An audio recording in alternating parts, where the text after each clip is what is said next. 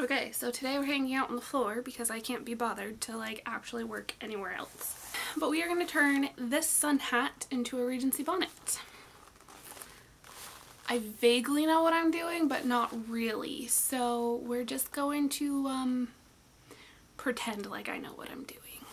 First things first, I don't like how this is domed. So I'm going to have to take apart the crown and redo it so that way it's more squared because I feel like that would look better bonnet wise versus that. Um, I'm also going to cut off the brim.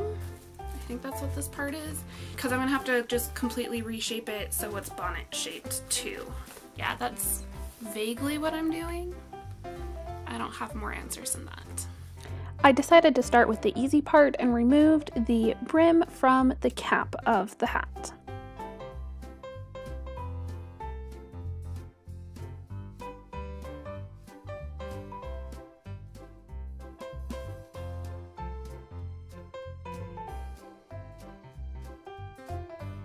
Okay, um, now that I see it without the brim, I don't know if I'm gonna want to do anything with it. Like, that's what we want, right? Let me take a picture with my phone real quick. I mean, yeah, I think so. So now it's just getting the brim to the right shape.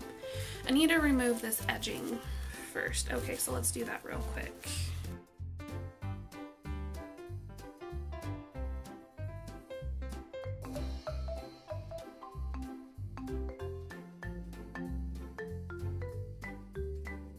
Because I've never made a bonnet before, I didn't know what the shape of the brim needed to be, so I decided to pin it onto the cap in the Regency bonnet style.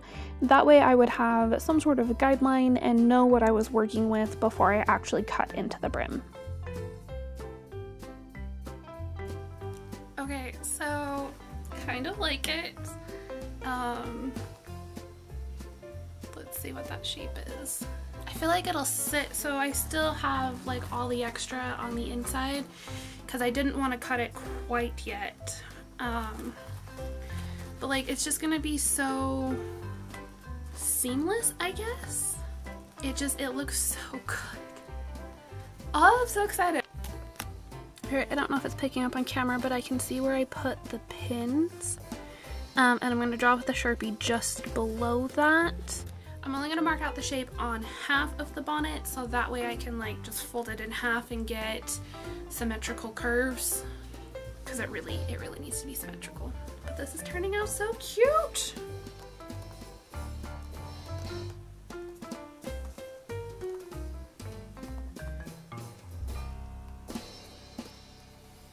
In case anyone is curious, that is the general shape of the brim. Okay, so this part sticks out because this is where I detached the cap from the brim. So I need to undo this maybe about four inches, at least to there, so that way I can seamlessly tuck this piece under.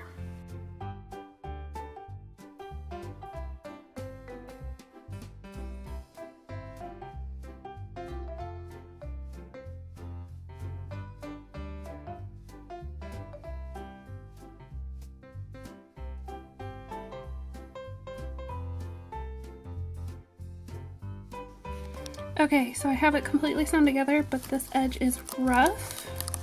So I think I'm gonna sew this band back in just to just to finish this edge. I should have pinned it first because this is short. So I'm gonna have to unpick it and then get a new ribbon and sew it in. Okay, so I got a lace to put in and it's like absolutely perfect. I will add in the band in the middle once I get the lace tacked down because I kind of want the lace to be finished with the band as well. Um, I also have this really pretty purple ribbon I'm going to tack down for the outside and then this will be my base bonnet. Um, I do have all of these flowers but there's currently too many options right now and I'm getting overwhelmed. So we're going to make a base wearable bonnet um, and then I'll worry about the decoration later. I have pins that I can like, I'm basically gonna make all the florals like different pins um, so I can exchange things as I want them and like whatnot. But like the purple band will be a fixed thing on it. So anyway, with all that, let's get sewing. It was actually quite a nice relaxing evening to just sit in my studio and hand sew all these decorations onto the bonnet. So much so that, you know, I'm to be making another bonnet for my friend Casey for when we celebrate her birthday with a Regency tea. Oh, I'm so excited. Like, these pictures are to be super cute, guys. I can't even tell you.